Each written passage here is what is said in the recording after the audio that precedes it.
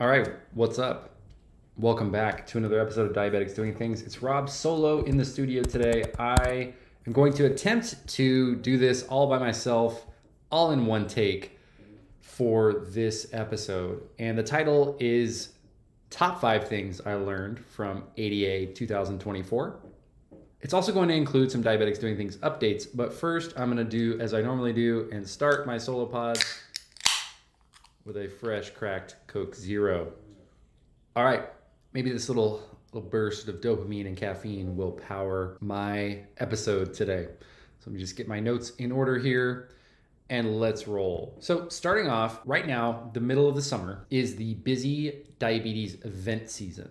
There's primarily in the US like three big ones every year, and I've been fortunate enough to go to all three now, which is pretty exciting. My infinity stones of diabetes events I've pretty much all crossed off my list.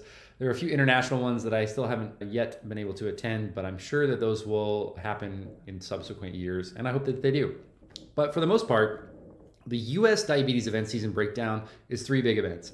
That's American Diabetes Association Scientific Sessions, ADA 2024, which I'm going to break down my top five things I learned at ADA 2020. The second one is Friends for Life, which is happening as I speak. I think people are starting to arrive to Friends for Life, the Children with Diabetes main conference. They have a lot of uh, satellite conferences throughout the country and even internationally now, but the main one's in Orlando on the Disney campus at Coronado Springs. I'm sure people are going to have a really great time there this week. So sending good vibes to everyone. We went for the first time last year, had a really great time, treated it as a diabetics doing things offsite. But this year, with as busy as June was for me, and ADA was a big part of that, I wanted to just take a little bit of a break and do fewer things. And you'll see why that's important because we have a ton of stuff happening, not just in July, but ongoing at Diabetics Doing Things. So the final one is ADCES, which I'm also going to. This year is in New Orleans and that's the Association of Diabetes Care and Education Specialists. And that conference is sort of wrapping up the US summer season.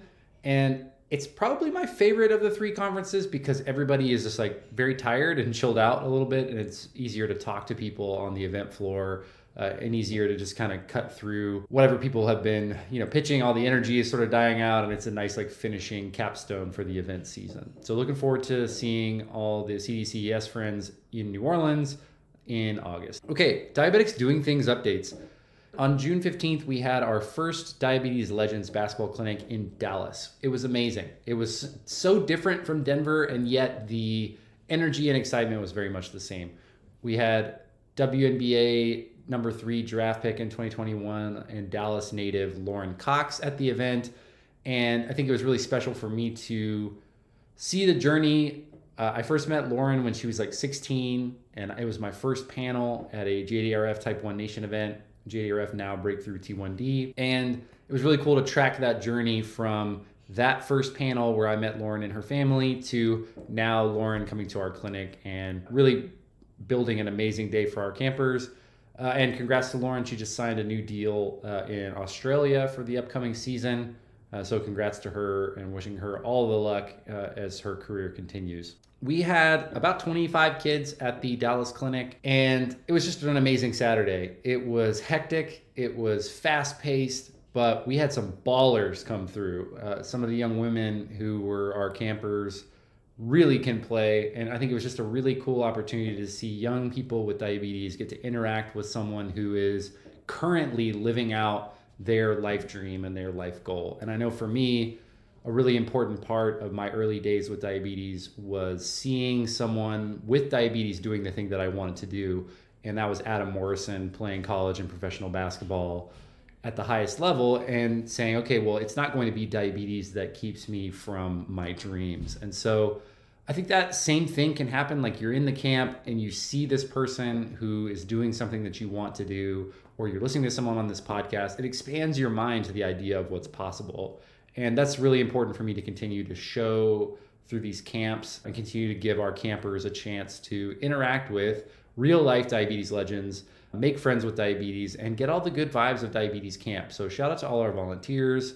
My mom came to this camp, which was really special for me. And shout out to our amazing med staff from Children's Medical Center in Dallas. You guys are awesome. And I honestly, we had a little bit of a one camper came in with a low, but during the camp, almost no campers pulled themselves out. So our med staff were were there and super supportive. But ultimately, we had some good sugars at our Diabetes Legends basketball clinic in Dallas. So really, really loved that. Uh, a couple things coming up to mark your calendars for if you want to hear me speak. There's two of them in particular. The first one is a virtual event, is July 25th with the International Diabetes Federation, and the title of it is called The Power of Movement to Tackle Diabetes. And that is a virtual event. We'll include a link in the show notes. Would love to invite you there. I'm going to be part of a panel with other athletes who are living with diabetes. And I'm going to share my story. And I've been talking about it a little bit more openly recently, but my peak days as an athlete were some of my worst A1Cs of my diabetes life. And they weren't bad by any stretch. They certainly were below the national average. My A1Cs have never been very high. I've been very fortunate that diabetes management has always sort of clicked with me and, and worked really well for me. But for for people who are stressed out or parents or caregivers or athletes who are stressed out by the ups and downs of their sugars during intense exercise and during intense competition, I want to just normalize that blood sugars can be really volatile. And I actually, the number one thing, so this is teasing out the end of today's episode, the number one thing, the top thing I learned from ADA 2024 is related to that topic. So stay tuned. So join me at the Power of Movement to Tackle Diabetes event with the International Diabetes Federation on July 25th. The next thing is the Breakthrough T1D Summit, which is here in Dallas Fort Worth on August the 3rd and is in it's at the Omni Hotel, I believe, in Frisco. So join us there with Breakthrough T1D Dallas chapter on August 3rd. I'm speaking and my speech is a little bit different. I'm, I'm writing a new presentation on how to use social media to as part of your diabetes therapy and how to find community, how to find creators, how to find other people like you, and really summing up almost 10 years now of life in the diabetes online community and more than 10 years working in content and social media and as a content creator. What can I learn to help you find people who can help you? And I think the biggest thing for me is that, you know, through this podcast is something that I've really been focused on since day one is that if you can get connected with someone who is living your dream with diabetes or is doing something that you want to do, is doing the thing that you want to do with diabetes, you should be able to find them and we should be able to connect you there. So that is going to be what I really showcase is that now more than ever, there's someone out there doing what you want to do with diabetes, and social media can be the gateway to you finding them. I can speak from my own personal experience you know, with my relationship now with Gary Forbes, who has become not only a collaborator and a supporter of diabetics doing things, but a personal friend of mine, was my literal hero during my college basketball years. Being able to see someone with diabetes, talking about their diabetes, playing in the NBA, and to now be able to have a real friendship with that person wouldn't be possible without social media. So that's what I'm going to try to bring to the Breakthrough T1D Summit in the North Texas, Oklahoma Breakthrough T1D chapter on August 3rd. So join us there. I'll include that link in the show notes as well. I mentioned this a little earlier. I'm going to be at ADCES. I'll be there with Medtronic Diabetes. So I won't have a ton of time. I'm, I'm going to be there on a quick in and out trip. It's New Orleans in August. I don't want to be there very long. It's going to be super hot. But while I'm there, if you want to connect or you want to talk about something from the podcast, I will be there to briefly cover what I can from the conference. So hopefully, if you're listening to this and you want to connect, please reach out and we'll get it on the calendar. Also, we're returning to Denver September 14th. Diabetes Legends Denver. The link is live on Eventbrite. You can register your camper today. We're going to send out emails to last week year's participants. I think a big part of Diabetes Legends and just Diabetes Camp in general is consistency. So we've got a new t-shirt design that we're going to release here soon. We've got exciting Gary Forbes is going to come back we're going to have a, a, new camp program. We're going to add a adults meetup following the basketball camp. So we'll have the clinic in the morning, the live podcast with Gary and the live Q&A, followed by an adult meetup at the basketball social house. We're going to play some games, have some some apps and some food and hang out with the Denver diabetes community. So more information coming on that. The Eventbrite is in the show notes be sure to check it out. I've been talking a lot about what's going on in diabetics doing things, and as I was writing it out in this agenda, it's honestly a little bit overwhelming to me on like how many things that we have going right now. This Next one is one uh, some of the work I'm most proud of though, and it's our Doing Well with Diabetes series with CenterWell. And CenterWell is a primary care chain for seniors with diabetes, and uh, or just seniors in general, rather, a primary care chain for seniors. And they want some diabetes programming for their community. And you guys have heard us talk about on this podcast when Erica and I went to ATTD, the conference in Florence earlier this year, there was a slide during one of the presentations which shows the likelihood for diabetes diagnosis of any kind, type 1 or type 2, increases almost tenfold after age 70. So for seniors, di- the, the risks and the signs of diabetes are extremely high. So we need to create awareness on that. So we've got some programming. We're going to have lunches catered at our events for seniors here in Dallas. We're working with CenterWell, which has 15 locations here in Dallas, Fort Worth. And we're really just digging into our local communities and trying to help people with diabetes. And we got this introduction through our relationship and partnership with the North Texas Food Bank. And we'll have some more updates on what we're continuing to do here in Dallas for our food insecure folks with diabetes. And there's actually some stuff in my ADA recaps for you know food insecure populations and some really interesting digital tools that are affecting them. So continue on to stay tuned. Uh, don't just tune out because these are Rob's updates. So we're continuing to deepen that partnership with NTFB.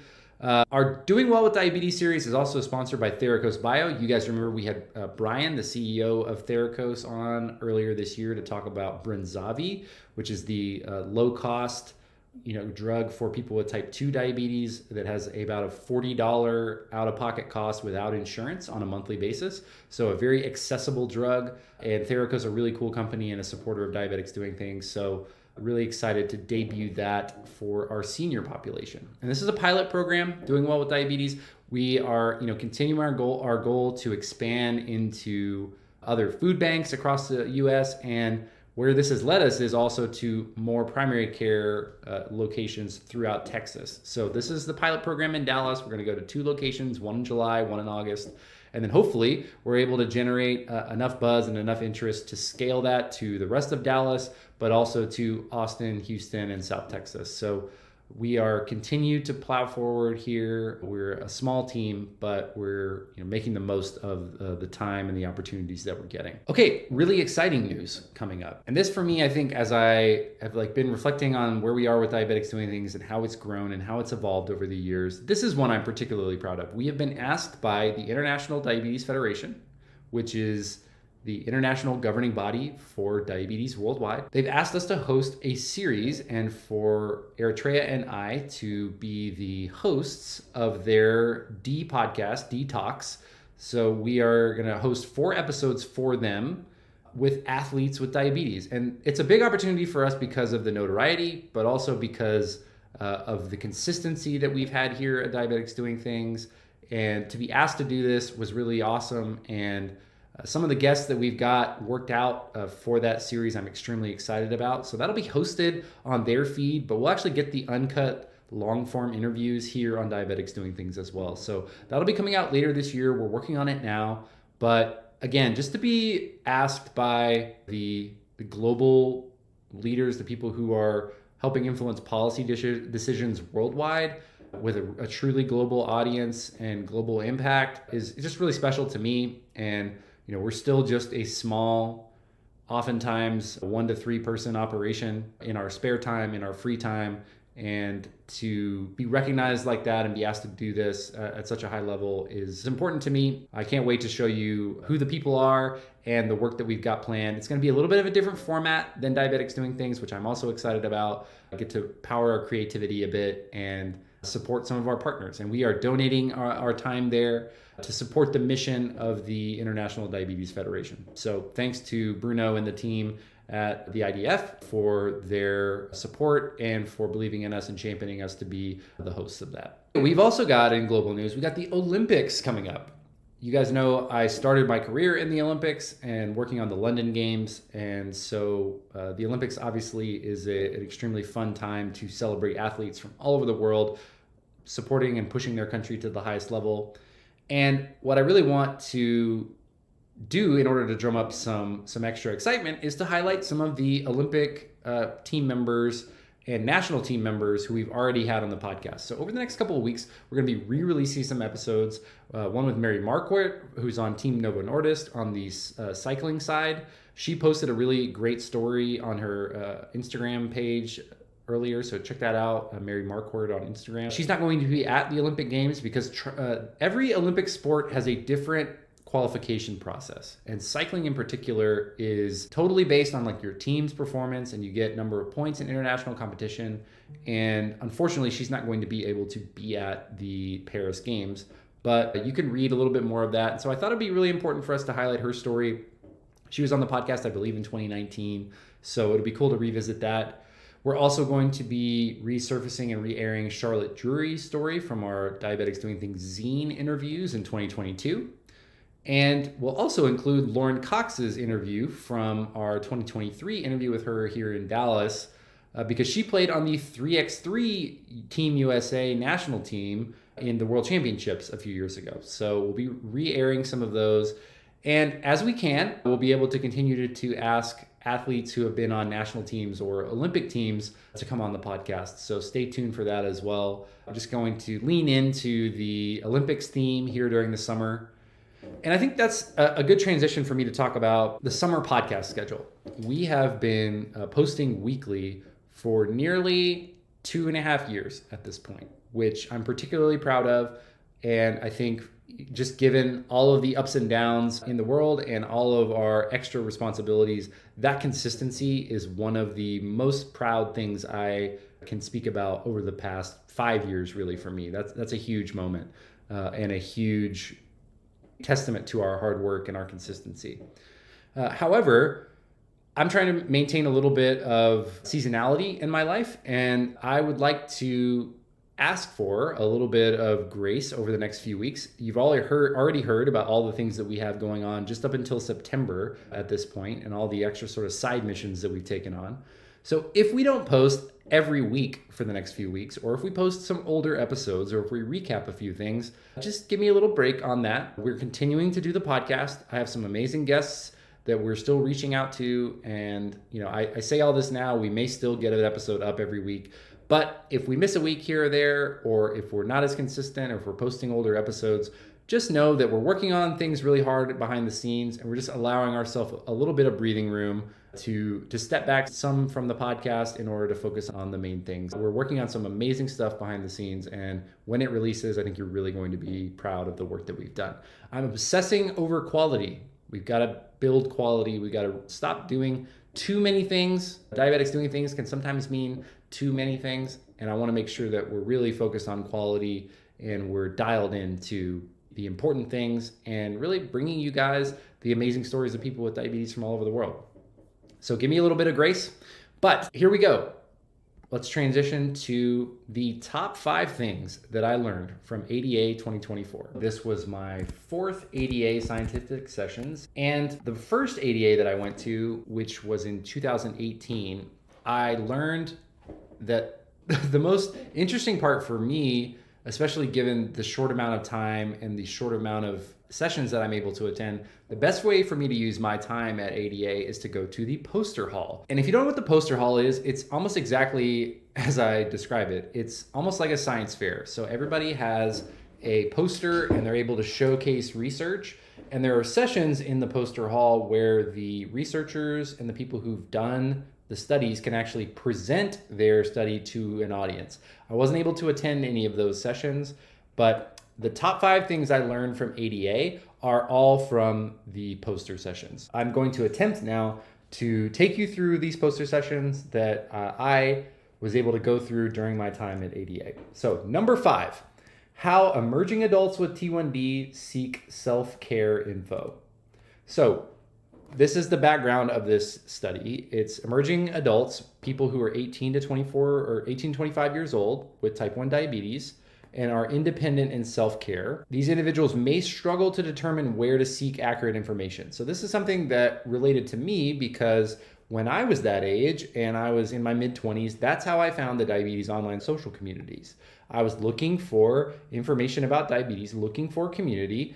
That's how I ended up here. So this was really interesting to me to look at. And the results were there were two themes, and then they kind of had some categories underneath one, them. So theme one is emerging adults with type 1 diabetes seek self care information from people who have lived experience from T1D.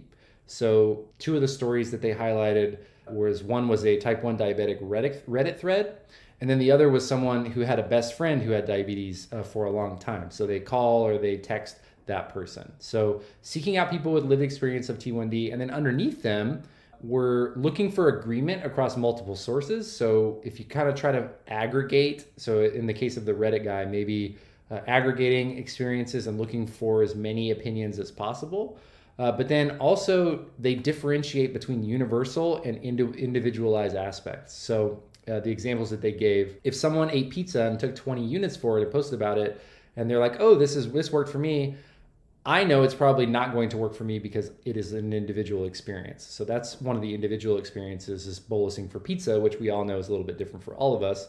And another respondent said that they usually look for answers based on people who know them and, and, know their diabetes. So people who have more experience. So people who not only are their friends or they have contact with, but also know and have some experience with the way their diabetes works. So I say it a lot a friend with diabetes is a friend indeed. And this study shows that emerging adults with type 1 diabetes seek out self care information from their friends, but also just from people that have a similar lived experience with diabetes than them. And then the second theme in the results were they identify people with formal education or training about diabetes management.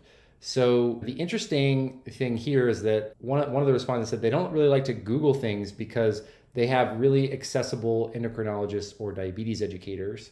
So that's a really, I think, unique experience. But it's, if you have an endocrinologist or a nurse practitioner or a diabetes educator who is accessible and is able to either text or email you on a regular basis, that's a, a way that emerging adults seek that information. And then on the other side, you know, kind of the counterpoint to theme one is this person said they tend not to trust answers through forums because they know it's different for everyone. It's hard to take advice from someone else who's not really an expert in the field. So it was really interesting to see how in the online community especially like there are different categories. There are people who are just friends and there are people who are you know maybe creators or community builders. And then there are also people who are creators but have a clinical background or coaches or are endocrinologists or nurse practitioners. So i thought it's really interesting there are a lot of ways that emerging adults are seeking that self care information. But remember, a friend with diabetes is a friend indeed. And I think there's real power in the online community. So that's number five. The number four thing is adults with diabetes have a significantly higher observed prevalence of taking psychotherapeutic drugs compared to adults without diabetes. This to me made a lot of sense because I think we talk about like adults with diabetes uh, are three times as likely to suffer from anxiety or depression. And this to me is just a confirmation of, of that data point.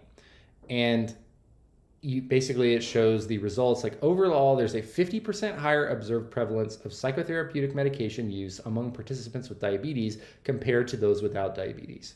So, you know, to me, there's a couple of interesting data points there. The study has it, it reached 57,000 adults, so quite a, a good sample size. So you say, all right, well, people with diabetes are three times as likely to suffer from anxiety or depression. Does that automatically equal them taking psychotherapeutic medications? No, not necessarily. But something that I've thought of in the past is because of my reliance on insulin and my reliance on pharmaceuticals, I may be more likely to accept a another an additional prescription or an additional pharmacology solution to a problem that I'm having. So then someone who doesn't already have that relationship with pharmaceuticals. So, you know, I see insulin as a life-saving drug and a life-saving thing that I have to have on an ongoing basis. So if there's another similar type of interaction, maybe I will be more likely to take that. So that was really interesting. And it, kind of goes into, and, and I'll link all of these studies. You can't actually access them publicly. So I'll have to figure out a way to share these in a compliant manner because I was press at this event and I need to make sure that I, you know, do my part to not break any embargoes or, or whatever the case may be. But anyway, adults with diabetes have a significantly higher observed prevalence of taking psychotherapeutic medications compared to adults without diabetes and with pre-diabetes. Okay, number three, the association of environmental mastery and diabetes distress among young adults with T1D. All right, if I have a new favorite uh, term, term, it is environmental mastery. And I'm going to tell you what environmental mastery is, and it's my favorite thing now. Environmental mastery measures one's perception of ability to effectively manage and control complex environments through one's mental and physical actions. Man, that is amazing. I, I think I have prided myself, you might call it situational awareness, you might call it street smarts. To me, environmental mastery is like one of the most important things for people around me. It's one of the things that I hold in high regard for people. So, the Association of Environmental Mastery and Diabetes Distress uh, was something that really uh, piqued my interest. I did not know what the name of environmental mastery was, but now I do, and I really love it. So, the key findings in this study they sampled 416 young adults and they evaluated their higher levels of environmental mastery were associated with lower prevalence of diabetes distress. So, the higher and greater your environmental mastery, the lower your diabetes distress. And remember, environmental mastery is effectively managing and controlling complex environments through one's mental and physical actions. And if there is something that's more correlative to positive diabetes experience, to me, it is environmental mastery. So, this included controlling levels of A1C and the use of CGMs or insulin pumps. So, the graded inverse association between environmental mastery levels and the prevalence of high diabetes distress was present across the levels of A1C, including those in the optimal range, which is below 7.5%.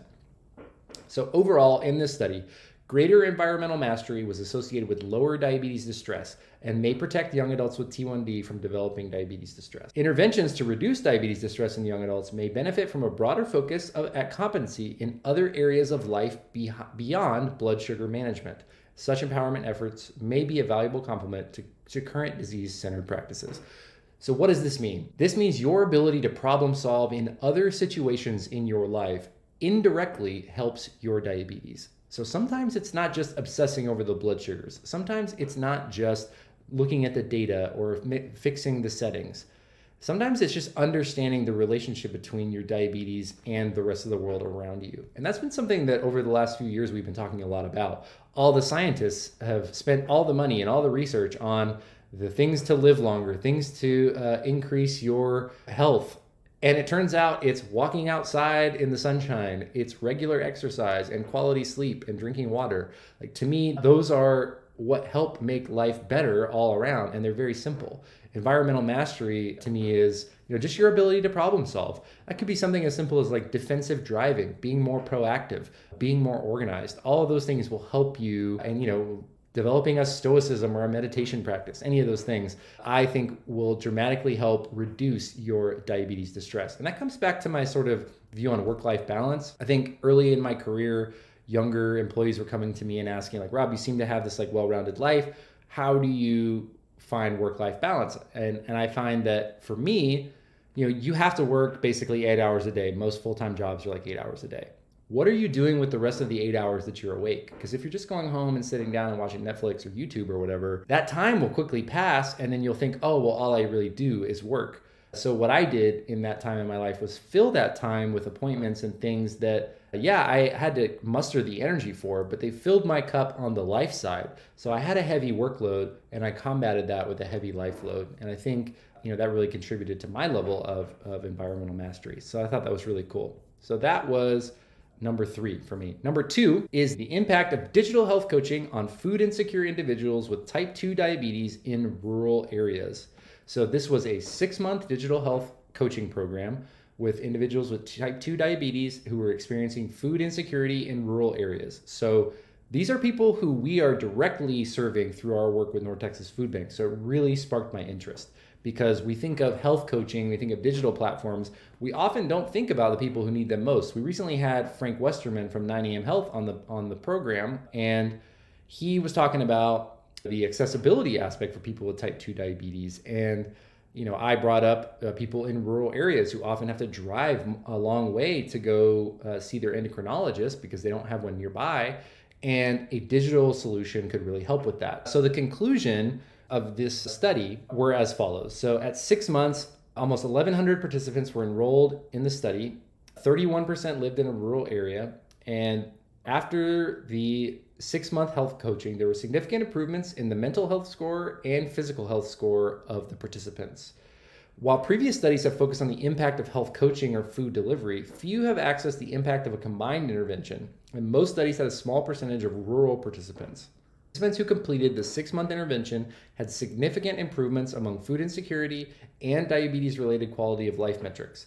A combined intervention may lead to improved mental and physical health outcomes among rural populations with type 2 diabetes and food insecurity. So, again, access is such a huge thing.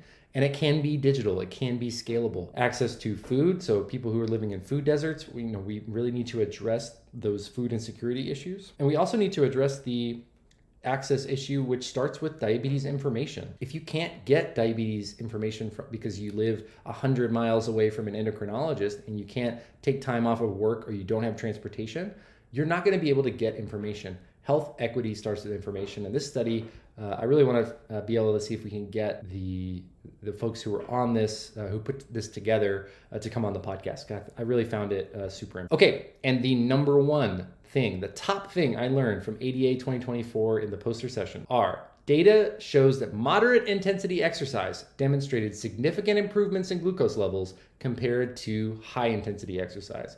And I called this earlier, called this out earlier in the episode. I've talked about this a lot. I talk to athletes all the time, especially ones who compete in a sport like basketball or track and field. High intensity outputs.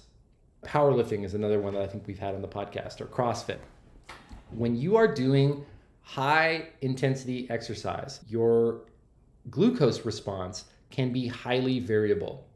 So in this study, they basically just took this was a literature search was conducted on the PubMed database using the keyword CGM, type 1 diabetes, and exercise. They took all the data from that and they matched five CGM studies that matched their criteria. When they subdivided that data based on exercise intensity, Moderate intensity exercise demonstrated significant decrease in glucose levels, whereas high intensity exercise tended to demonstrate an increase in glucose levels, but the change was not statistically significant. So the conclusion was in the meta analysis of CGM exercise studies in people with type 1 diabetes, demonstrated that the glucose response to exercise is highly variable in part because moderate, moderate intensity aerobic exercise lowers glucose levels, while high intensity aerobic exercise tends to increase glucose levels. So I wanted to focus on this really simple part right here. Glucose response to exercise is highly variable. Anybody who does any sort of cross training knows this. If you go and run a slow paced mile or two miles or a long walk, your blood sugars, you're going to become more insulin resi- uh, insulin absorbent. Your insulin resistance is going to go down. And you might drop low. You might need to have a snack on you. You might need to have, you know, some glucose gels on you. When I ran the marathon, around about mile five, I had to start consuming my gels because my body was becoming much more. It was it was taking in all the insulin that I had in my system compared to high intensity exercise where you're putting these outputs through you're getting your cortisol you're getting your adrenaline you become more insulin resistant for a short time. And you know oftentimes your sugars go up. I've talked about in my college basketball career i could go from a fasting blood sugar of 80 to nearly 400 by the time the game started because i was so amped and adrenalized and just uh, adrenaline dumping. And my glucose was going up in response. So that to me was the most uh, impactful thing, the top thing I learned from ADA 2024. And remember, I talked about this earlier. There's no way to see all the sessions. I'm still combing through the the sessions and the transcripts through the online database from the American Diabetes Association. But those were the top five things I learned from the poster sessions at ADA 2024. Okay, keep it locked on the podcast. Exciting things coming up. If you want to subscribe, please visit us online, diabeticsdoingthings.com and subscribe to the drip, new drip coming out in July. See you next time.